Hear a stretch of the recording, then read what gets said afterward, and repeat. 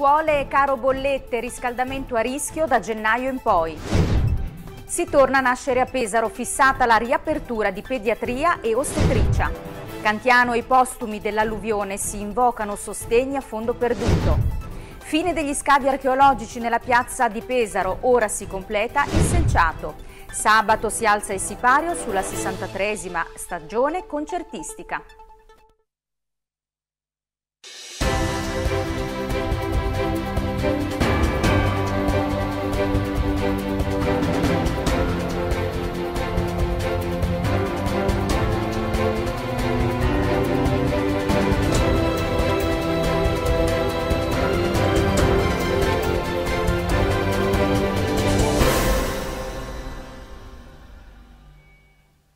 Buona serata, benvenuti al nostro telegiornale di oggi. Oggi è martedì 4 ottobre e apriamo questa edizione occupandoci del caro bollette. Si prefigura infatti un inverno piuttosto rigido per le scuole superiori pesaresi con la provincia che senza sostegni annuncia di non essere in grado di garantire il riscaldamento oltre il mese di dicembre. Vediamo il servizio.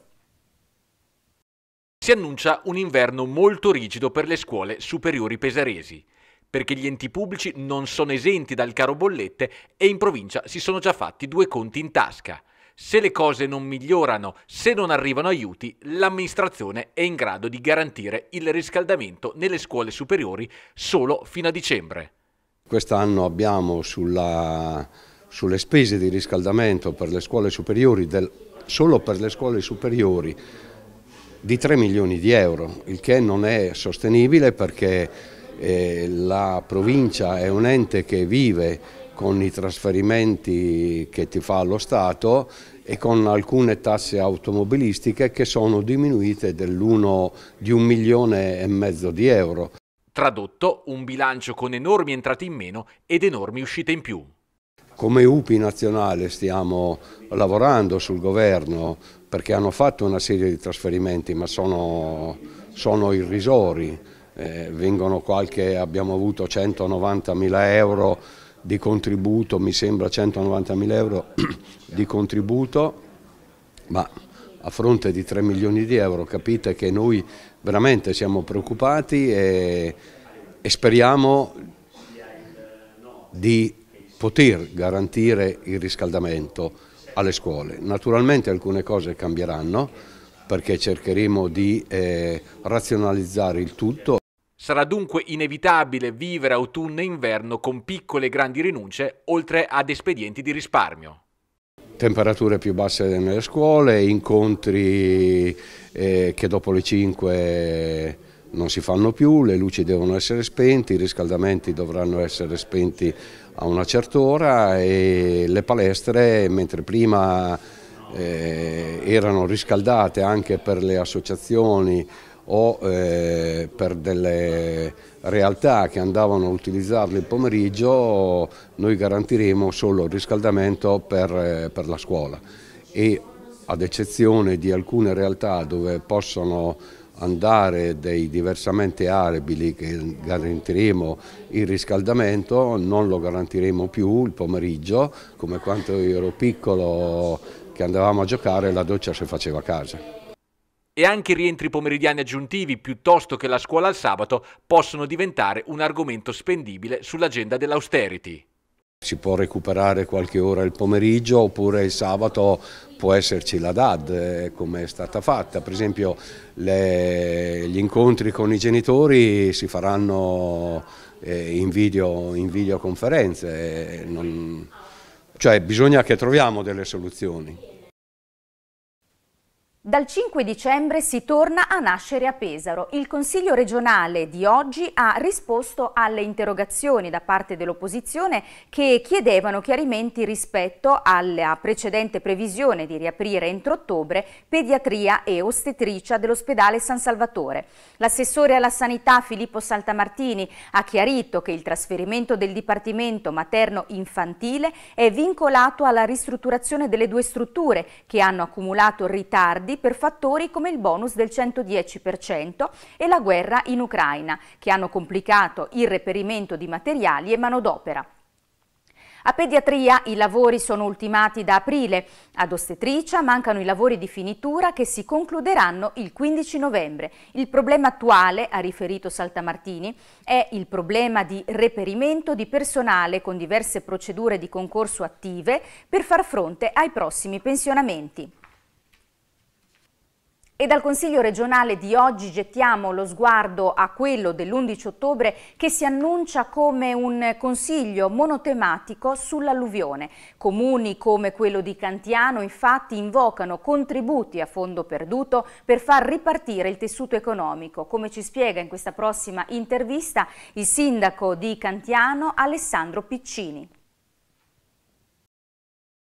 Il Consiglio regionale dello scorso fine settimana ha deliberato la prima iniezione di stanziamenti all'emergenza alluvione con un assestamento di bilancio dal quale sono stati ricavati 21 milioni e mezzo di euro.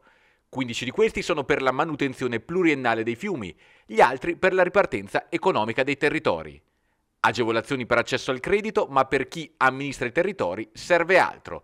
Servono contributi a fondo perduto per poter immaginare una ripresa da territori in ginocchio come nel caso esternato dal comune di Cantiano. Noi abbiamo appreso di questa importante comunque ecco, opera di, di, di supporto eh, in una fase post-emergenziale, però credo che quanto fatto ancora non sia sufficiente o, sopra, o, o perlomeno non è sufficiente per, per, territori come il mio in cui oltre a, ai danni eh, drammatici subiti al patrimonio pubblico eh, legati all'alluvione eh, è stato completamente distrutto il tessuto socio-economico del paese, perché ecco, la particolarità di Cantiano, ahimè, è quella eh, di avere infatti avuto le esondazioni nei, nei punti nevralgici de, dell'economia eh, del paese, quindi l'intero centro storico e l'intera area industriale. Quindi il meccanismo di rilancio eh, in questa fase eh, richiederebbe anche un, un, aiuto sostanziale, rapido, eh, anche in termini di, di, di, contributi a fondo perduto, perché eh, capirete che il fare impresa in territori delle aree interne è già di per sé impresa ardua.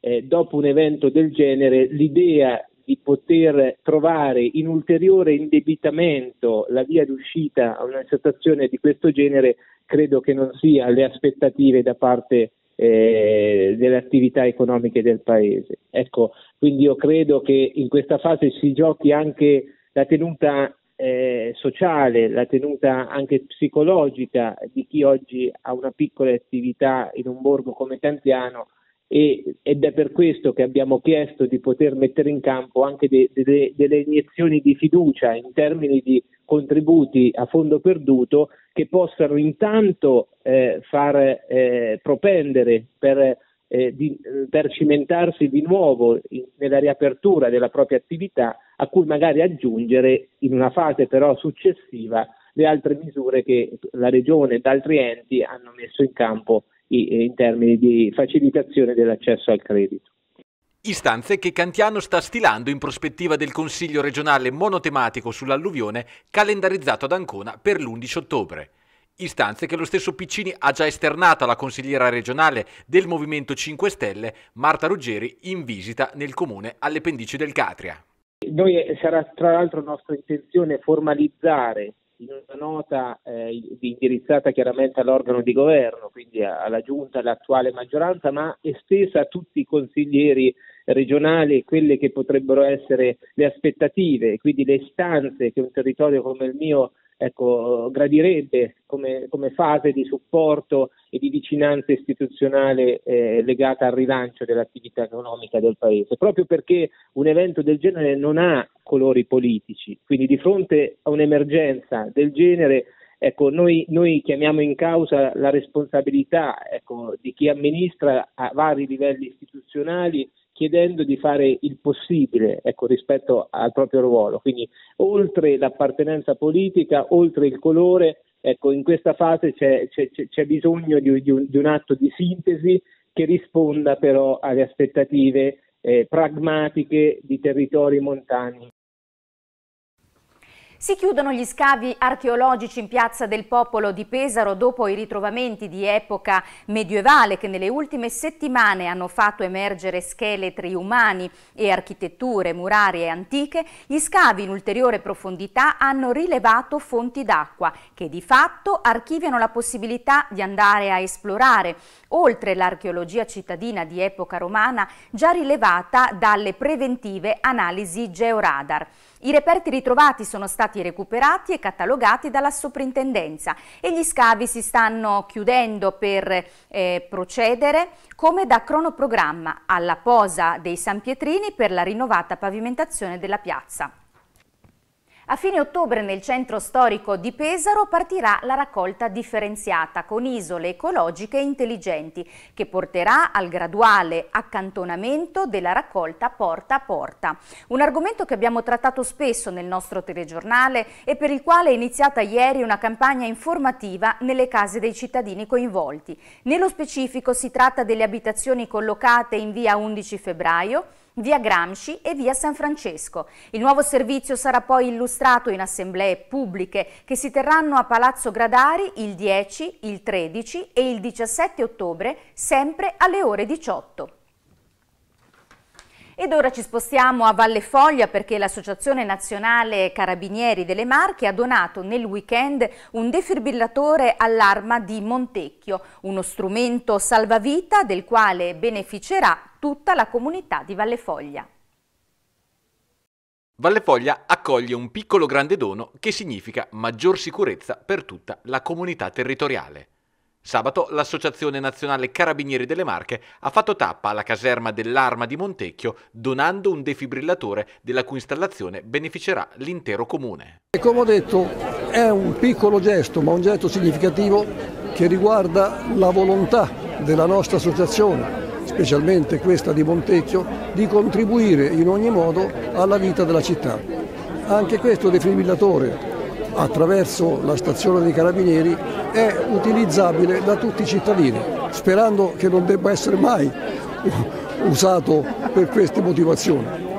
Però è importante che anche in questo modo venga espressa la volontà dei nostri soci carabinieri in congedo di continuare la volontà di servizio sempre essendo in attività in funzione del servizio alla cittadinanza e quindi questa è la parte più importante questo gesto verso il maresciallo Giabbani di un defibrillatore è un segno di sicurezza dell'arma dei carabinieri, il defibrillatore serve per salvare le vite umane e l'arma c'è sempre, l'arma è una garanzia non solo nelle missioni internazionali che è la punta dei diamanti delle missioni dell'Italia nel mondo, ma anche nella vita quotidiana dei cittadini.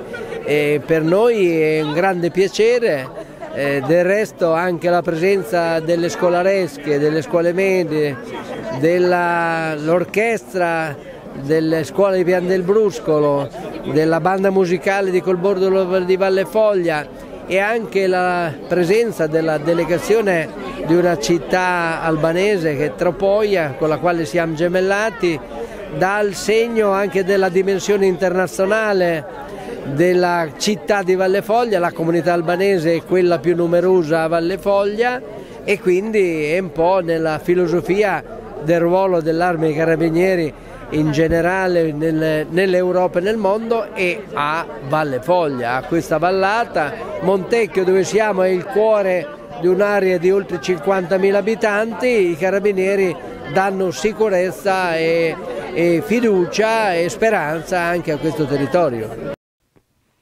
Restiamo a Valle Foglia dove, come documentano queste immagini, sono terminati i lavori di rifacimento del nuovo manto stradale sulla strada provinciale che da Colbordolo conduce a Montefabbri, una nuova asfaltatura che è stata eseguita a seguito dei lavori per la realizzazione del nuovo impianto per la metanizzazione e la depurazione di Colbordolo, Monte di Colbordolo e Montefabbri.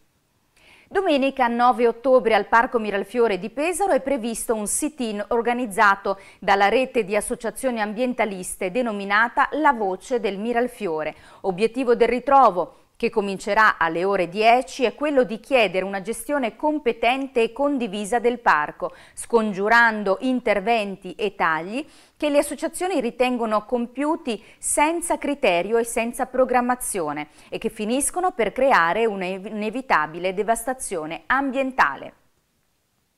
E mentre il Comune nel mirino degli ambientalisti per la gestione appunto del Parco Miralfiore, nello stesso Miralfiore l'amministrazione organizza per la successiva domenica, cioè il 16 ottobre, un nuovo evento dedicato ai bambini dal titolo Miraviglia.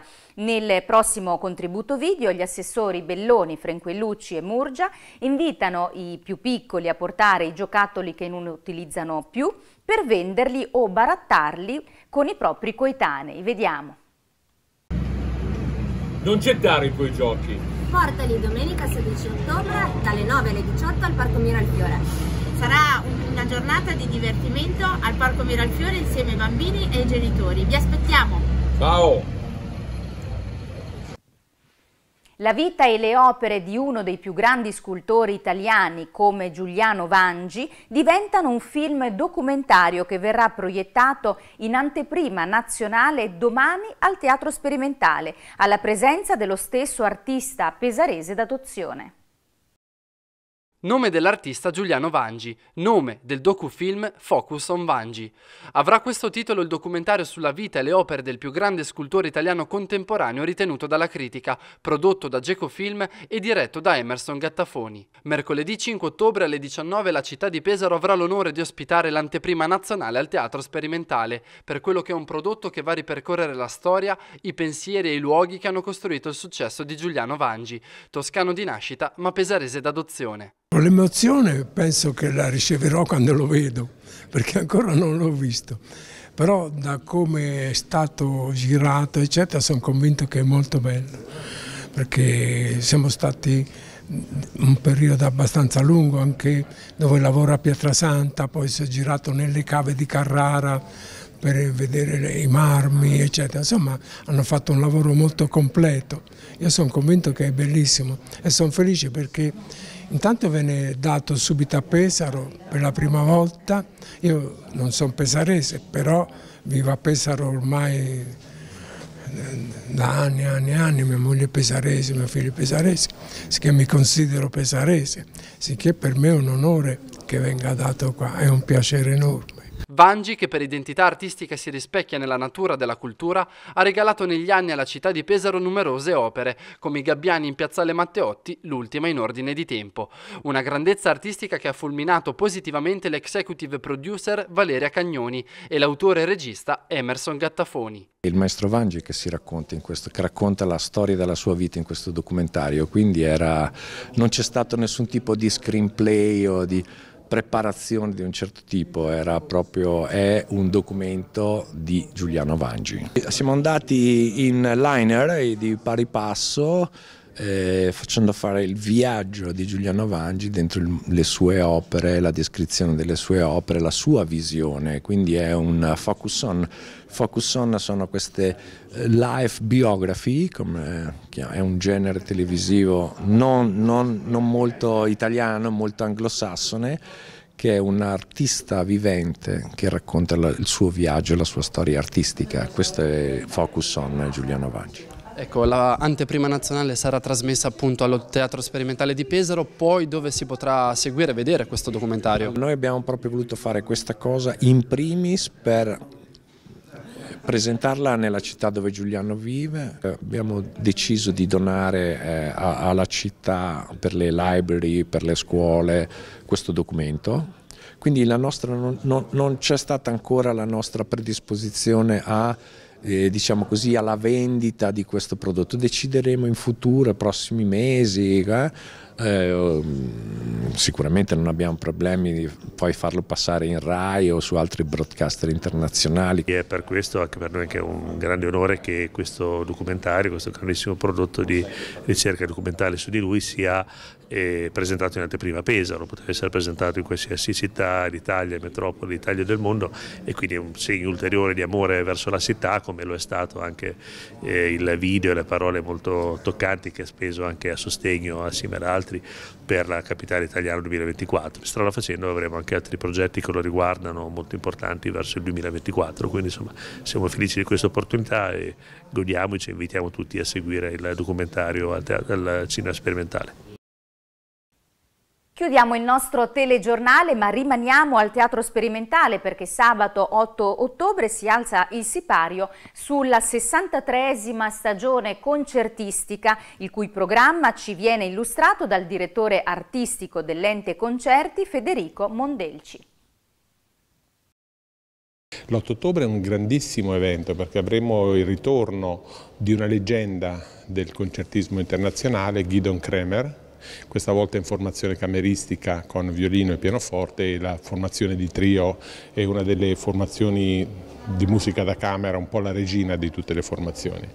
Il programma è bellissimo perché prevede tra l'altro c'è anche un filo conduttore che unisce i brani apparentemente molto distanti perché parliamo di due composizioni di Mozart. Il primo è L'Ave Verum, scritto da Mozart eh, l'anno prima di morire, e in quell'occasione andò a trovare la moglie che stava facendo le terme, incinta del suo sesto figlio e trovandosi a Baden, appunto dove è il luogo termale, in prossimità della, della ricorrenza del Corpus Domini, compone questa musica bellissima, che questo ecco, per dare il valore anche dell'universalità del messaggio musicale. Quindi due composizioni di Mozart, e poi abbiamo eh, un trio di Ghia Cancelli, altro compositore scomparso nel 2019, quindi un compositore praticamente contemporaneo a noi, che è un grandissimo compositore col quale Guidon Kremer ha collaborato a lungo e infine il trio Opera 100 di, di Schubert. E quindi un grande evento musicale con un artista veramente che non ha bisogno di alcuna presentazione, quindi veramente invitiamo il pubblico a partecipare a questo, a questo primo appuntamento. Poi ne seguiranno altri tre, sempre allo sperimentale, eh, avremo il quartetto Nous, una giovane formazione ma tra le più accreditate a livello internazionale, questa volta fondono, eh, si fondono con eh, la chitarra di Bandini, chitarrista anche molto celebre, è un programma molto bello perché anche qui nella prima parte avremo il quartetto di Mendelssohn, quindi riservato al quartetto d'archi, un, colosso della letteratura per il quartetto d'archi. E nella seconda parte avremo, ah dimenticavo, anche Crisantemi, un brano per quartetto d'archi di Giacomo Puccini, una delle opere, rarissime opere scritte da Puccini per musica da camera. Nella seconda parte invece avremo eh, tutta musica di, dedicata quindi alla chitarra con il quartetto d'archi, con Luigi Boccherini, un quintetto in re minore se non sbaglio, e poi eh, il quintetto di Mario Castelnuovo tedesco. Ci avviciniamo poi alla seconda parte, sempre prima di Natale, a inizio dicembre, il 4 dicembre avremo due il primo ciclo delle sinfonie di Beethoven trascritte per pianoforte da Franz Liszt. Avremo l'esecuzione della quinta sinfonia ad opera di Paolo Marzocchi e della sesta sinfonia della pastorale eh, ad opera di Maurizio Baglini. Infine l'ultimo appuntamento, il 16 dicembre, prima di Natale, un appuntamento con la musica di Morricone per opera di due, di due musicisti che hanno, lo hanno accompagnato per tutta la sua vita, i solisti di riferimento che hanno partecipato a tutte le incisioni discografiche e, e anche per la musica appunto per i film, tutti questi brani qui arrangiati da Morricone specificatamente per il violoncello di Luca Pincini e il pianoforte di Gilda Buttà. Siamo arrivati alla fine del nostro telegiornale anche questa sera, prima però qualche istante ancora perché vi andiamo a raccontare e ricordare gli appuntamenti sulla nostra emittente Rossini TV.